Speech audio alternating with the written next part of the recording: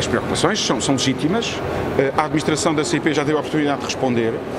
Isto não foi feito a partir do gabinete do ministro ou a partir do governo, foi feito em conjunto com os colaboradores da CP, em conjunto com o departamento de marketing, todo, todo, toda, toda a gestão da CP ajudou, os colaboradores da CP ajudaram, estamos absolutamente confiantes em aquilo que fizemos. E a CP será ressarcida até o último cêntimo daquilo que hipoteticamente poderá vir a perder. Até pode vir a ganhar se aumentarmos a base de pagantes, mais cidadãos portugueses comprarem o passe, possivelmente até podemos reequilibrar as contas. Não é preciso mais comboios? É.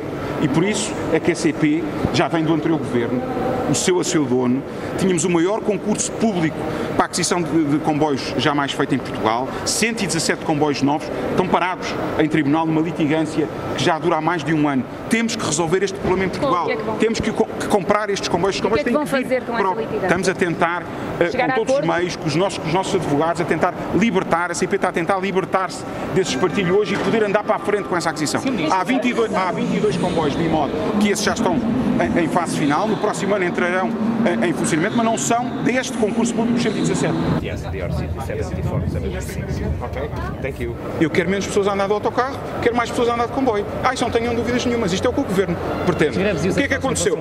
Eu tenho que responder uma pergunta de cada vez. Ah, o que é que aconteceu nas últimas décadas? Por falta de investimento na ferrovia. E ainda bem que o Governo anterior iniciou essa vontade de aposta na ferrovia. O Governo atual mantém essa vontade e acelera essa vontade.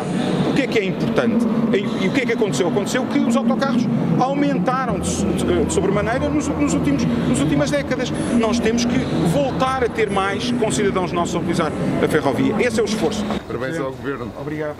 Um abraço.